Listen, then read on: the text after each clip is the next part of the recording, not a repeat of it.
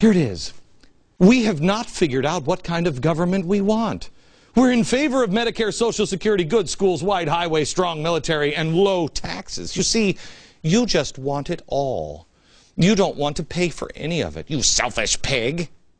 Mm. But wait, there's more. Many people, here it comes, many, many people, including some who claim to be outraged by the deficit, claim to be outraged, not really outraged, still haven't acknowledged the disconnect. Just last weekend, Tea, Party's, Tea Party members helped Denny, uh, uh, Denny, uh, Denny Senator Robert, oh, help, I'm sorry, help deny Senator Bob Bennett uh, the Utah Republican his party's nomination for his reelection campaign, in part because he had co-sponsored a health reform plan with Democratic sen senator. Economists generally think that the plan, you ready, uh, would have done more to reduce Medicare spending than the bill that passed. Whatever his intentions, the Tea Party effectively punished Mr. Bennett for not being a big enough fan of big government. that is so wrong, the New York Times. How do you guys tie your shoes in the morning? Bob Bennett was punished because Utahns knew that no health care plan was preferable to the structure that was being proposed by Bennett. None. None. We don't want any more plans for the government. We want less plans from the government. We also, no doubt, are sick and tired of Bennett voting for things like uh, TARP or, uh, or, or approving uh, Ruth Bader Ginsburg or most recently Cass Sunstein. Bennett prided himself with working with Democrats. You know, um, something that in this day and age of progressivism has some have come to see that as compromising principles. And again, let me give the hot news flash to the New York Times. Bob Bennett and anyone else living under the illusion of a true Democratic Party, um, what are you smoking?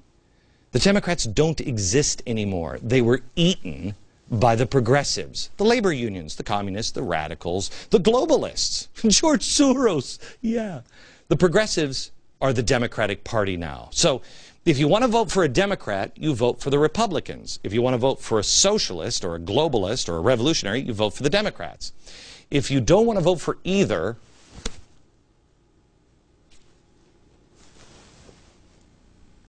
So the New York Times, to place the blame squarely on your shoulders, is interesting. Rather than placing it on the politicians in D.C. who've gotten us into this mess, claiming that we haven't figured out what kind of government we want. Yeah. That shows me that the New York Times still doesn't get it. We decided what kind of government we wanted a long, long time ago. We want the kind of government our founding fathers gave us. And you know what's interesting? Until they started changing the history books and indoctrinating us, you know, through the media, all of that progressive nonsense, we were much more clear on that. And yet you still haven't been able to kill that in us. It's amazing. See, what we wanted was a, a democratic republic, one based on limited go government with equal justice for all. New York Times, we are not the problem. Big government and those in bed doing the big government bidding is the problem. More on that coming up. Okay,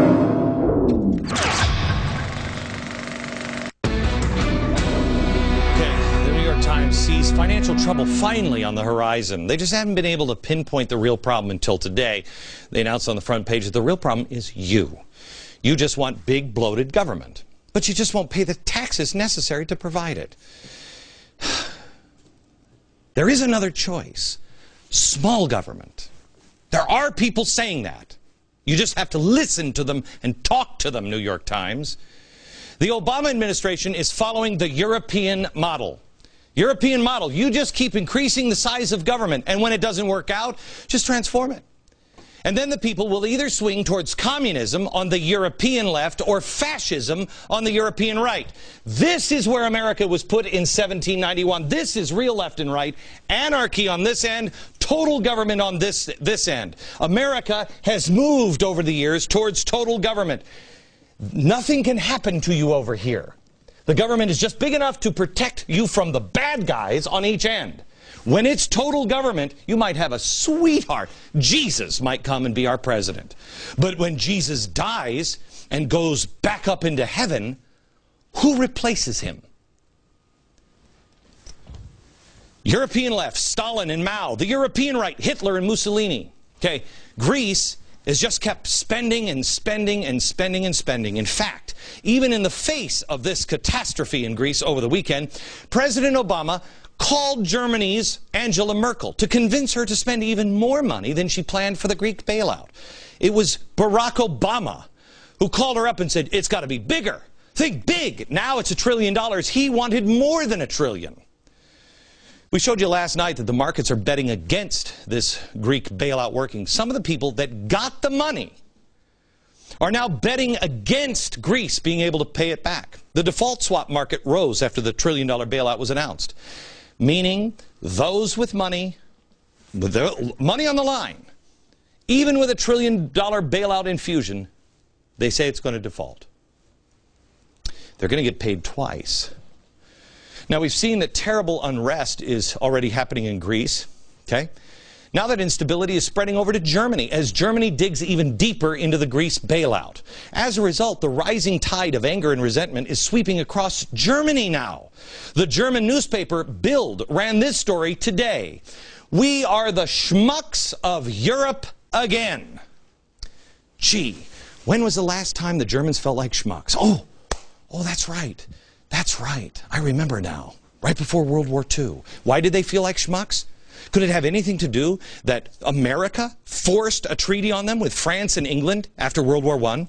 Then demanded, the U.S. president demanded with Woodrow Wilson, along with England and France, that they pay all kinds of reparations that they could never afford. They had to inflate their money. Hmm. Now another president is pressuring them to open up their wallets, pour hundreds of billions of dollars, or a trillion or so, in total bailout money. You've already been seeing the rise of communists and anarchists in Greece. That was who was on the screen. Communists and anarchists. Communists and anarchists. Now, who's going to show up in Germany? My guess.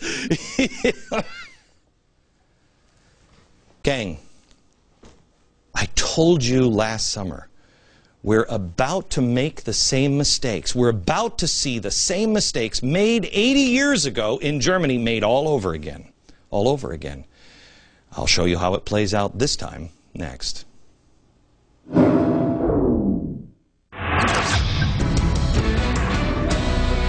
been telling you now for a while that we are seeing the rise of the communists and the anarchists in Greece. But now we're about to see what I told you was coming we are going to see the rise of the European right in Germany now. That's where it's starting. The question for Europe will once again be do we have fascists or communists that quell all the problems? The last two times all hell broke loose on planet Earth, America was there. We had the will, we had the power, and we had the financial ability to be able to step between those two factions. But there comes a point, and I believe it's approaching quickly, that we will not be able to do that anymore. We, will, we don't even have the moral authority to do that anymore, let alone the money to do that. So who steps in between Hitler and, and Stalin? Who steps in? One country on planet Earth that can, and it is China. China the world's put a happy little face on, the, on communist China. You'll never read about the totalitarian oppression in China or the 37 million Chinese who suffer, suffer in abject poverty, and that's their number. Not probably a real number, that's their number. Hey, how about that whole one child limit thing? As long as they can continue to exploit their population of over a billion people who can sew clothes or put together chia pets for eight cents a day, there is no way to fight them. No way. They, they will control the world. So who steps in? If Europe breaks down, who steps in? China does. China will control the direction of Europe and the rest of the world in the next century. Not the United States of America, not our principles and freedom and liberty and free markets. No, no, no. Communist China. Well, maybe they'll finally be able to bring social and economic justice to the people of Europe, just as they've done for those 37 million of their own citizens. Back in a second. Don't ever mistake the truth for anger or hatred. And when people become uncomfortable and when things go dicey and people become afraid, they start to go back to hatred because sometimes hatred makes people comfortable. That's why this program has been urging you, and we have been working hard on doing faith, hope, and charity. Put positive into your life. So when people do freak out, they don't go to the extremes. They know what the truth is, and they know how to fix it. We can fix it together.